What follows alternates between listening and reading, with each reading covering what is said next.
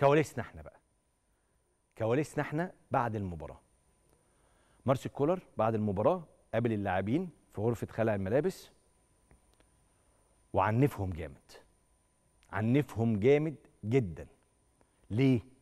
عشان اللي قاله في المؤتمر الصحفي. هو قال لهم أنا اديتكم تعليمات بين الشوطين. اديتكم تعليمات طبعا قبل المباراة ما اتنفذتش أكدتها عليكم بين الشوطين ما اتنفذتش وقال لهم إنه الكلام ده مش هيبقى مسموح إنه يتكرر تاني. قال لهم بشكل واضح جدا إنه اللاعبين المقصرين في التعليمات مش هيبقوا موجودين في التشكيلة الأساسية. وقال لهم إن هو ما بيبصش على النتيجة. وقال لهم إن الأداء النهارده ما كانش مرضي بالنسبة له. وقال لهم إن إحنا كان معانا بعض التوفيق إن ضربتين الجزاء ضاعوا من الاتحاد. ولو كانوا جم ضربتين الجزاء كان ممكن الموقف يتصعب جدا في هذه المواجهة. فمش عايز الفوز يبقى خادع لينا كلنا كجهاز فني ولاعبين. ده مبدئيا قالها لهم بعد المباراة. بكرة في كلام تاني. وبصراحة أنا بحترم جدا مارسيل كولر. بحترمه جدا. ليه بقى؟ في مدربين بعد المباريات اللي زي دي بيطلع يقول إيه؟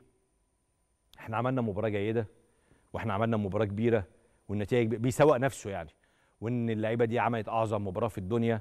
ويخدع اللي بيتفرج. يخدع اللي بيتفرج. لكن هو ما بيعملش كده. لو الأداء مش كويس بيطلع يقول الأداء مش كويس. لو الأداء كويس حتى لو الفريق اتعادل أو اتغلب بيطلع يقول اداءنا كان كويس والتوفيق غاب عننا. راجل واضح وصريح لا بيخدع نفسه لا بيخدع الجماهير وما بيخدعش لعيبته. بحترمه جدا ودايما أقول بتصور إن الراجل ده هيحقق نجاحات كبيرة مع النادي الأهلي. بتصور بتصور ليه؟ عشان الله أعلم بالغيب. أتصور من المشاهد اللي شايفها إنه الراجل ده وارد جدا إنه ينجح نجاح كبير مع النادي الأهلي في المستقبل القريب. ده بالنسبة لمباراة النادي الأهلي والنهاردة اللي كسبها 3-0 على الاتحاد السكندري.